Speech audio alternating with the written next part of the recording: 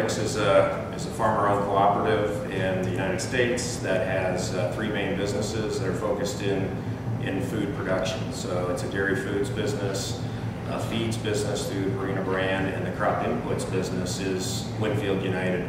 And we supply crop protection products, crop nutrients, and seeds to producers. As we look at where the expansions are in the global economy, we're looking at several other markets, including Africa, and that's what makes us interested in, in South Africa. If we can get a, assets on the ground in South Africa through our joint venture with Villa, we're going to be able to establish that base and as Africa agriculture expands, be able to expand into the rest of Africa.